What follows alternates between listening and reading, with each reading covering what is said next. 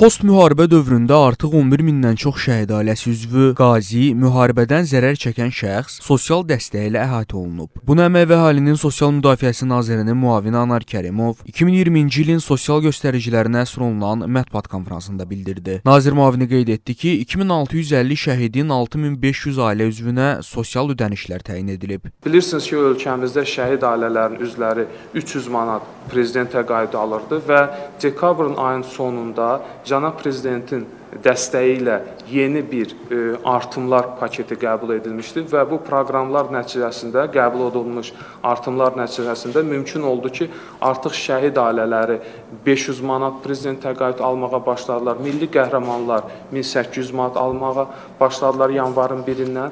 Eyni zamanda müharibə əlilliyi də olan şəxslər, onların da Azərbaycan Respublikası prezidentinin təqaüdləri ciddi şəkildə, yəni 50%, 60% artırılaraq 400 manata çatdırılmışdır.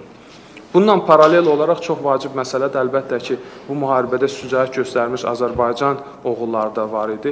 Yeni bir prezident təqaüdü təsis edilmişdir. Bu Qarabağ müharibəsi e, qəhrəmanları üçün yeni bir 2000 manat məbləğində yeni təqaüd təsis edilmişdir və yanvarın 1-dən artıq bir bu ödənişlərə başlanılmışdır və qeyd etməliyəm ki, e, bu təqaüdlərin ödənilməsində, müavinlərin ödənilməsində artıq ciddi irəliləyişlər var. Belə ki, şəhid ailələrinin demək olar ki, 95%-nə yaxın ziyarət edilmişdi.